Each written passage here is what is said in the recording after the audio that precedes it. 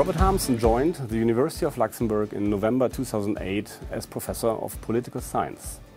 He is currently the Director of the Master in European Governance.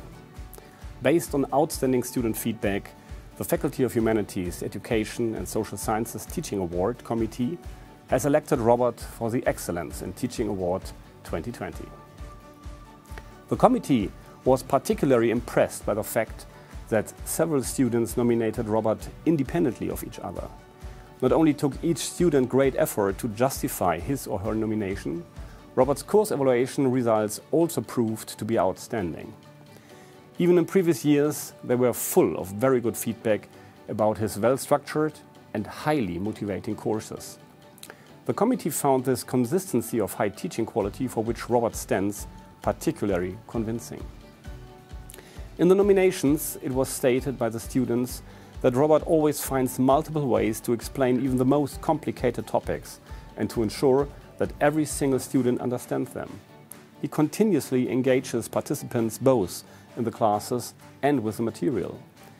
Furthermore, Robert is highly accessible and always available for questions and advice.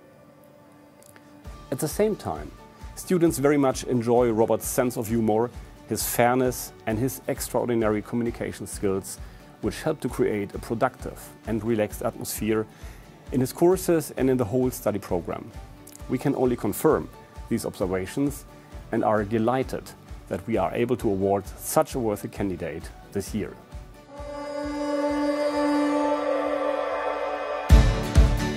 If there is anyone who deserves a teaching award, that is Professor Robert Harmsen.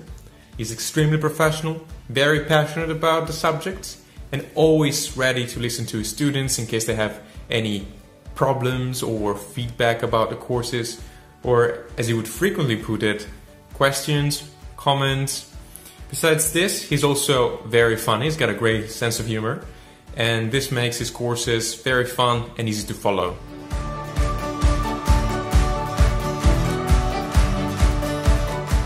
The Innovative Teaching Award is usually given to a colleague who has put special effort into designing an extraordinary and particularly creative course.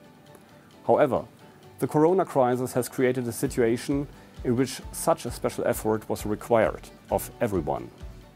The committee therefore decided also to award the prize to everyone, to our lecturers who did a marvelous job during the crisis, to our students who proved to be extremely committed flexible and helpful, and in particular to the administrative staff without whom it would not have been possible to maintain teaching during the last semester. Our special thanks go to them. As a symbolic gesture, we would like to donate the money that was foreseen for our Innovative Teaching Award to the University's Hardship Fund, as we are convinced that we will urgently need this fund in order to get through the still ongoing crisis well.